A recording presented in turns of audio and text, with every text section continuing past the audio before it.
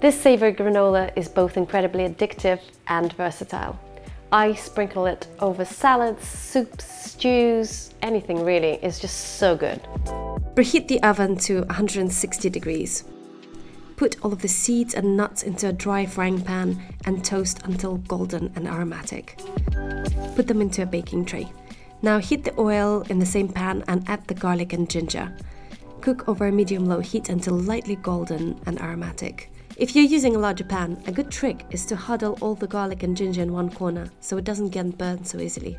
Add this, including the oil, into the nuts, add the tamarind and the date syrup and stir through properly. Sprinkle over the Maldon salt and cook for about 8 to 10 minutes. You're looking to dry everything out without letting the garlic burn. Remember that it may feel a little wet and sticky, but will dry once left out of the oven. Keep in an airtight container for up to a week use on everything or as a snack.